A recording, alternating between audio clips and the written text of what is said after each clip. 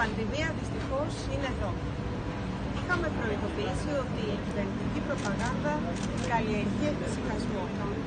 Τώρα η κυβέρνηση πανικόβληση εξαντλείται σε απειλές των υπουργών της και πρόχειρες εξαγγελίες που δεν μπορούν να υλοποιηθούν.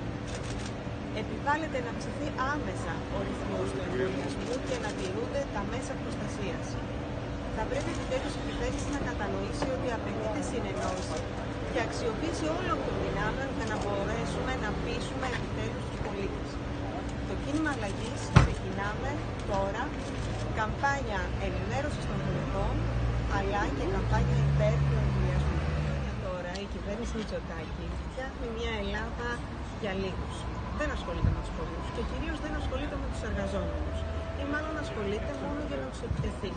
Ξεκίνησε υπονομεύοντας τις κλαδικές συμβάσεις, επέβαλε σε 600.000 εργαζόμενους να ζουν με 5,34 ευρώ, χωρίς καμία ρύθμιση για τις οφειλές τους και τις ανάγκες τους. Και βέβαια το κερασάκι ήταν ο εργασιακός νόμος που μας γύρισε στην εποχή των ατομικών συμβάσεων, σε θεμελιώνει το εργατικό δίκαιο, αφήνει τους εργαζόμενους απροστάτευτους σε κάθε ασίδωτο εργοδότη, χωρίς προστασία από το κράτος, αφού υπονομεύονται και οι μηχανισμοί ελέγχου, αλλά και χωρίς δικαστική συνδρομή και συνδικαλιστική προστασία.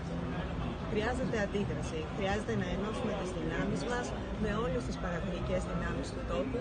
Ζούμε μια δύσκολη διπλή κρίση, υγειονομική και οικονομική και δεν χρειαζόμαστε άλλες συγκριτικές πολιτικές που μόνο σε κρίση κοινωνική μπορεί να οδηγήσουν και νέα διέξοδα.